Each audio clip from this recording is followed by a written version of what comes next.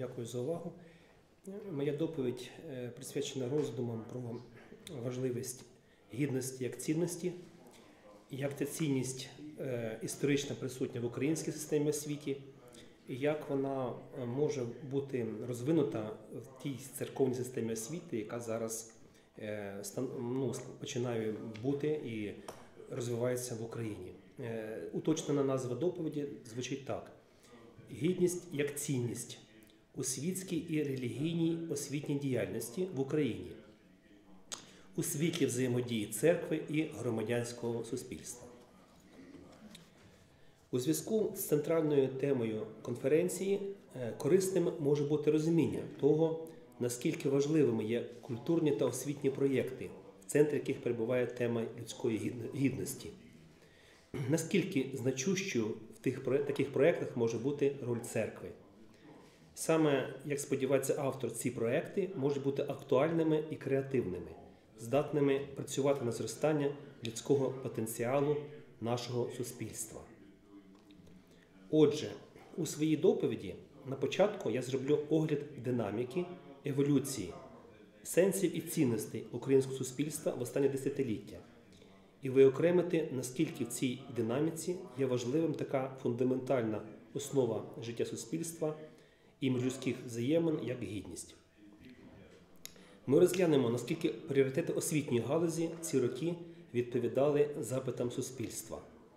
Далі ми перейдемо до аналізу того, як цінність гідності співвідносилася з роз- розвитком громадянського суспільства в Україні.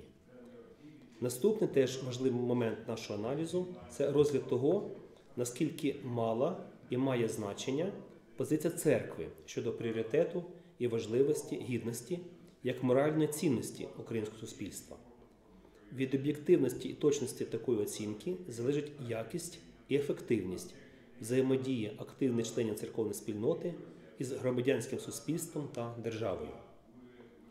Спираючись на цей діахронічний підхід, ми зрештою зосередимося на розгляді значення цінності гідність церковній освіті і проаналізуємо потенціал і перспективи нових освітніх завдань, які церква може реалізувати, зокрема у своїй взаємодії із громадянським суспільством. Перше. Динаміка освітніх змін в пострадянську епоху і значення фактору гідності у пріоритетах освітньої системи. Досліджуючи систему цінностей, яка складалася і складається протягом десятиліть української незалежності, ми звернемо увагу на значення сфери освіти для сформування суспільних цінностей. Цей вплив з боку освітньої сфери здійснюється, коли освітні установи, окремі підструктури системи освіти, такі як середня школа, вища школа, інші, реагують на суспільні запити і таким чином формують філософію освіти закладають методичні принципи, створюють окремі освітні напрямки і програми. Враховуючи ці запити суспільства, держава як така через освітню систему може і повинна задавати орієнтири, окремі цінності, які вона вважає найважливішими. Держава формує пріоритет цих цінностей, відповідаючи на вимоги суспільства. Хоча при цьому треба робити поправку на таке явище, як інерція освітньої системи. Враховуючи цю інерцію, яка була наслідком загальносуспільної ментальності пострадянського періоду, можна загалом підсумувати. Протягом першого етапу розбудови українського суспільства держава переходила від того стану, в якому вона вважала себе відповідальною за формування певних цінностей, як було, наприклад, в СРСР, до того стану, що держава стала вважати доцільним обмежити міру власної відповідальності. Ілюстрацією цього- є зміни в оцінці значення виховної складової в освітньому процесі, адже цінності формуються переважно саме через виховну діяльність. Так, у Державній національній програмі освіта, ухваленій в 1996 році, цілий розділ був присвячений національному вихованню. Наш короткий аналіз, основний зміст доповіді не дозволяє тут детально зупинитися, показує, що на той час автори програми вважали за необхідне консолідацію суспільства юної держави на основі так званих в лапках національних цінностей. які трактувалися у дусі солідаризму, тобто єдиними для всього суспільства, а також модерного розуміння поняття нації, яка визначалася як спільнота, об'єднана єдиним розумінням власної історії та єдиними ідеалами, які конструювалися на основі трансляції гасел, сформульованих національними героями минулого. Як контраст до цих уявлень, що побудували, побутували всередині 90-х років, відзначимо, що новий закон України про освіту, в тій редакції, яка була ухвалена через 20 років, два роки тому, практично не містить інформації про засоби і зміст виховання в освітніх установах, за невеликим винятком дошкільної системи освіти. Характерним є те, що в усіх статтях попереднього закону, в яких було поняття як навчально-виховний процес або естетичне виховання, слово виховання було замінено на освітній процес і естетичне виховання на вплив мистецтва. В новому законі підкреслюється необхідність в освіті цитата «формува- формування поваги до прав і свобод людини, нетерпимості до приниження честі та гідності, фізичного або психічного насильства, а також до дискримінації. Також підкреслюється необхідність цитата виховання патріотизму, поваги до культурних цінностей українського народу, його історико-культурного надбання і традицій. Кінець цитати. Але текст закону оминає, якими засобами ці якості мають бути досягнуті. Також у законі виразно підкреслено, що виховання дітей це обов'язок в першу чергу сім'ї. Аналіз цих законодавчих текстів, які ми тут представляємо, не означає, що я наполягаю на необхідності виховання саме в державній системі освіти, виховання гідності як такої, або, наприклад, національної чи колективної гідності ідентичності, чи яких-небудь інших чеснот. Ми хочемо наголосити, що в сучасній освітній парадигмі набуття гідності, так само як і інших чеснот, офіційна педагогічна думка не пов'язує фактично з цілеспрямованим педагогічним впливом. Тому залишається питання. Перше, чи держава усвідомлює, що формування гідності у своїх співгромадян це важливо і необхідно? І друге, чи держава вважає, що наявність гідності її громадян це також і її держава відповідальність? Ці питання залишаються відкритими, а якщо коротко, наша думка така: освітня діяльність ініційована держави не бачить цінність, як форм... цінність формування гідності у своїх молодих громадян як пріоритет. Під впливом руху бік Європи і європейських вартостей цінностей, який, який цей рух започаткувався з часу помаранчевої революції 2004 року, в освіті процес активно війшло пропагування такої цінності, як толерантність, повага до свободи іншого, в його поглядах і переконання. Тут певні зрушення є. Україна дійсно стає більш толерантною. Утім, формування толерантності, хоч воно і важливе, не тотожне формуванню гідності, про що мова йтиме дещо нижче. Друге, розвиток громадянського суспільства як фактор, що впливає на сприйняття гідності як цінності. Отже, як першу тезу ми відзначили, що заслуги держави, заслуги системи освіти у формуванні гідності як громадянської чесноти немає. Але все-таки, все ж таки, цінність гідності у суспільній свідомості за останні десятиліття безумовно зросла. Які ж фактори, на нашу думку, на це вплинули? Феноменом, який потребує особливого аналізу, хоча це не є завдання нашої конференції, є розвиток громадянського суспільства в Україні. Як і чому воно розвивалося? Доповідач, я, я тут не є адептом поглядів Карла Маркса, який вважав, що економічний базис детермінує стан суспільної думки і суспільних цінностей. Але не можна заперечити те, що крах колективної соціалістичної економіки в 90-х роках ХХ століття стимулював створення прошарку самозайнятого населення, власників і учасників невеликого бізнесу, людей, схильних до економічної і світоглядної незалежності. Хоча проша- прошарок таких самостійних людей ніколи за ці десятиліття не наближався до 50%, але їхня активність та відстоювання власних прав і можливостей ставала рушієм змін у суспільстві. До цього слід додати, що національна історична пам'ять українця переконувала, що довіряти державі владі загалом не варто. Отже, зрештою, на середину 2000-х років в Україні утворився помітний прошарок, соціальний прошарок людей, які цінували власну гідність та гідність іншого. Ознакою такої якості цінування гідності своєї і інших стала здатність таких людей до взаємної підтримки, солідарності, не озираючись на державу.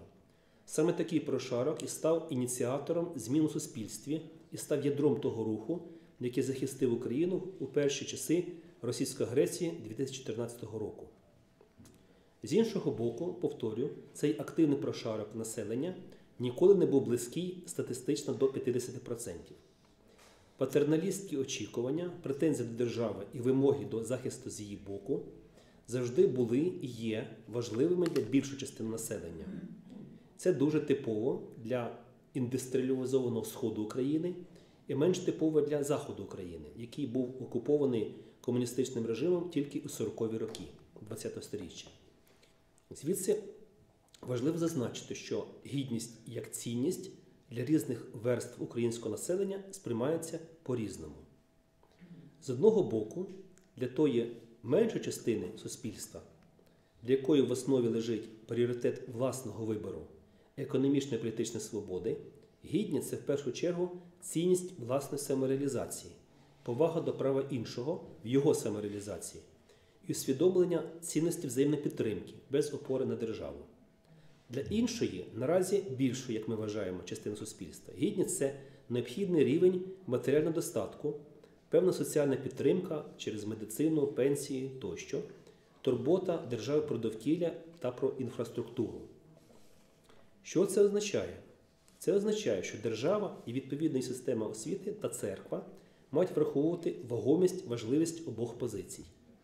Не можна стверджувати, що держава, суспільство загалом і церква забезпечують високу повагу до людської гідності, якщо наявні лише політичні і громадянські свободи, але й відсутній елементарний соціальний благоустрій. З іншого боку, безперечно, суспільство буде гостро реагувати, якщо б влада задовольнила патерналістські очікування і забезпечила соціальний захист біднішим верствам, але натомість наблизила би суспільний устрій до стану більшості пострадянських держав, наших східних і північних сусідів. Третє. Чи впливала і впливає церква на розуміння значення гідності своїми членами і суспільством загалом? Хоча на це поставлене питання складно відповісти коротко, але спробуємо провести стислий огляд позиції меседжів основних українських церков стосовно проблеми людської гідності. По-перше, зауважимо, що у взаємодії церкви та суспільства в цілому можна виділити два аспекти: меседжі декларації, які церква вносить в суспільство. Перше, і друге це практична діяльність церкви, просвітницька, соціальна, певною мірою економічна, яка також впливає на суспільне життя. Оскільки церква як інститут стабільно виділяється значним суспільним авторитетом, важливо проаналізувати, як саме бачать людську гідність українські церкви і якими засобами вони вважають за необхідне її утверджувати. Чому церква є авторитетним суспільним інститутом? По-перше, тому, що незважаючи на тривалий період влади ідеології комунізму, українське суспільство, подібне до інших суспільств Східної Європи, у своїй традиційності і традиційній соціальній ролі церкви. Тут воно подібне до суспільств Молдови, Румунії, Болгарії, деякої міри до Словаччини та Польщі. У спрощеному вигляді у християнстві загалом, і це також має місце в Україні, роль і міри, роль і місце вірянина в церкві визначається двома моделями. Умовних можна позначити двома настановами Спасителя. Перше це будьте як діти, Матвій 18.3. І друга настанова ви друзі мої. Іоанн 15.14. Перша ілюструє традицію церковної вертикалі, а друга наголошує на рівні гідності і близькості до Христа усіх вірян. Згідно першої моделі, яка загалом властива усім поствізантійським церквам, вірні цінують саме батьківське чи патерналістське ставлення. Тоді церква найперша і в меседжах, і в практичних діях виступає як порадник та захисник від бурхливих хвиль житейського моря. У цій моделі у на питання про гідність найбільш послідовним буде позиція, в якій гідність тотожна колективній ідентичності. Ми, віряни, відчуваємо себе обраним стадом Божим. І наявна в нашій конфесії сукупність релігійної практики, це переважно, також соціальної практики. А ця соціальна практика, в першу чергу, це взаємопідтримка членів громади. І ця сукупність релігійної соціальної практики утверджує нас в почутті солідарності і правильності перебування в нашій конфесії. В цьому і є наша колективна гідність. Таке бачення найбільш характерне для православної церкви Московського патріархату, меншою мірою для церкви колишнього Київського патріархату, яка є переважаючою основою сучасної православної церкви України ПЦУ. Хоча про зміну самоусвідомлення в ПЦУ як єдиної церкви ще говорити зарано, тому що тільки почалося її переоформлення нової церкви. І нарешті ще меншою мірою таке самоусвідомлення присутнє у Українській греко-католицькій церкві, але і тут воно в ній присутнє. При цьому опорою такого колективного самоусвідомлення гідності для вірян є відчуття причетності до великої і сильної, навіть і сакральної спільноти. За своєю суттю її можна вважати міфологічно конструйованою, або, як згідно з Бенедиктом Андерсоном, уявленою спільнотою. Наприклад, за свідченням учасників сучасної дискусії між прихильниками Православної церкви України і УПЦ Московського патріархату на Волині, на аргумент вірян Православної церкви України. Ми ж українська в дискусіях, ми ж українська церква, церква українця. А хто ж ви такі? Віряни УПЦ МП відповідають, а ми православні. Інша ілюстрація цієї позиції відчуття своєї причетності до великої могутньої Святої Русі. Це цілком міфологічне сприйняття, але це також частина сучасної реальності. Усвідомлення вірян двох інших українських церков, тобто Православної церкви України і Греко-католицька церква, тут відрізняється тим, що для їхніх членів є дуже важливою національна ідентичність, яка є важливою складовою гідності як цінності. Це означає, що ці вірні церков відчувають себе близькими до національно свідомої частини суспільства, ототожнюють себе з нею. Відповідно, церкви здатні залучатись до національно орієнтованих проєктів, культурних та освітніх. Хоча, з іншого боку, вони тим наражаються на критику, часто фейкову критику, з боку опонентів, які звинувачують їх у агресії націоналізму. До цієї критики менш вразлива греко-католицька церква, яка має тісні культурні і освітні зв'язки на Заході, і має у значної частини свого керівництва європейську ментальність. Що стосується Православної церкви України, то вона в своїй основній масі довго перебувала у певній ізоляції від інтернаціональної християнської спільноти. Якраз тому ця церква стоїть перед викликом подолання цієї ізоляції, а також виходу з монополії патерналістської на зразок московської моделі, з якою вона жила за попереднього свого керівництва. Схоже, що вона зараз стає на цей шлях поступово. Що стосується іншого непатерналістського розуміння церковної спільнотою цінності гідності, то таке розуміння спонукає церкву та вірян більше до відкритості, аніж до автономності свого життя. Наразі складно говорити, наскільки це ефективно і можливо для церков.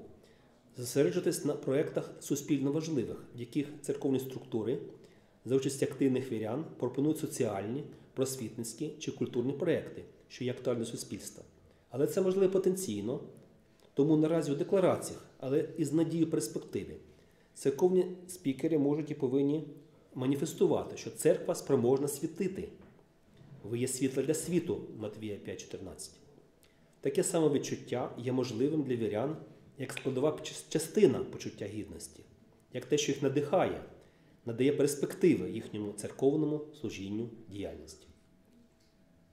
Четверте перспективи церковної діяльності як на ниві просвітництва і освіти з опору на утвердження гідності як загальнолюдської цінності і громадянської чесноти. Це основні принципи гуманітарних проєктів.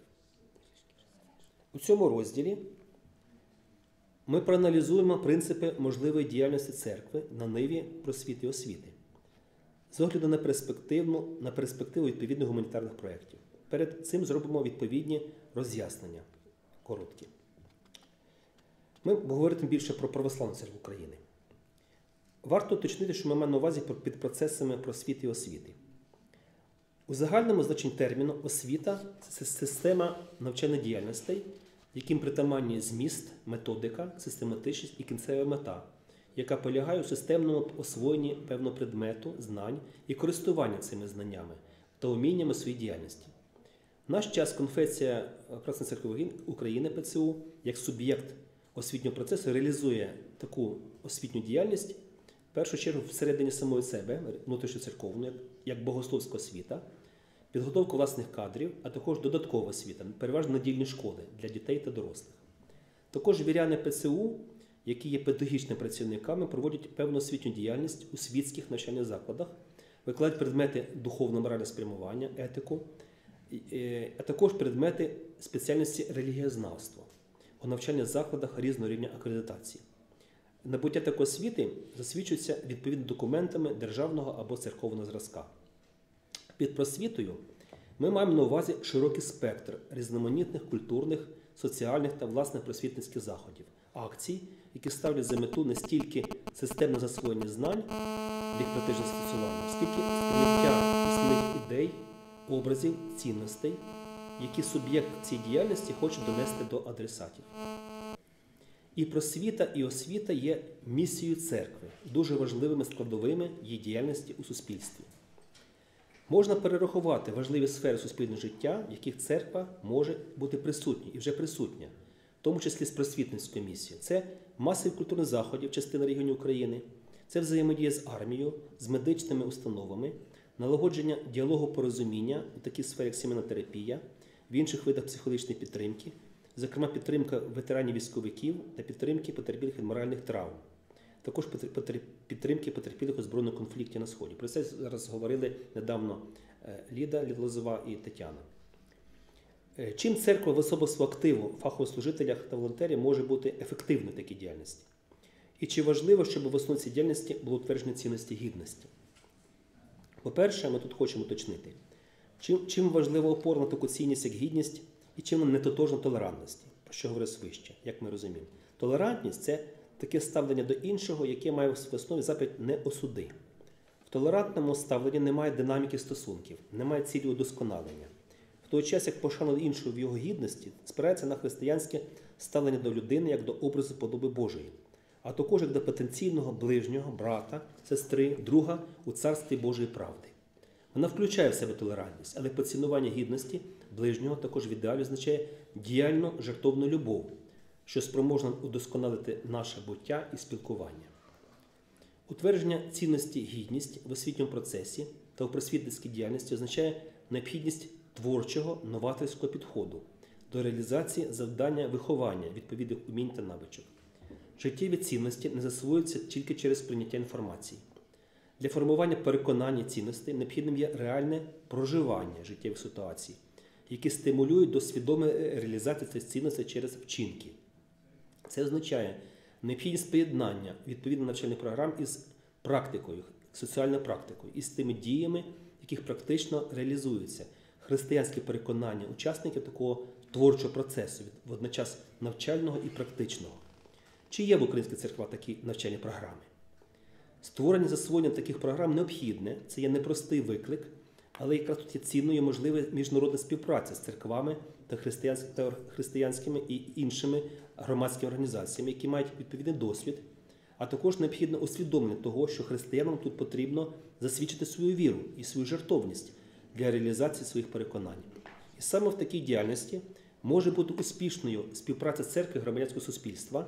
І це є особливість української ситуації. Тут суспільство в нас воно не є секулярним в тому значенні, якому воно є в тих країнах, де церква має мало мало чується і мало відомо, мало її знають, мало відчувають. У нас воно все-таки ближче до суспільства. Тут тому смислі суспільство не є, не є секулярним і віддаленим від церкви. І таким чином суспільство може і є відкритим до взаємодії з релігійними організаціями.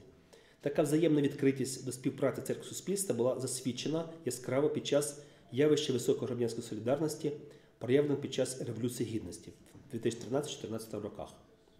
Завершимо цю доповідь таким висновком щодо особливостей реалізації цінності гідності діяльності церкви. Соціальне вчення церкви, в якому розуміння людської гідності як прояву образу і подоби Божої лежить в основі, має лягти в основу навчальних програм. А ці програми мають включити, включати в себе реальну християнську дію, практику, яка є вираженням нашої віри і моральних переконань.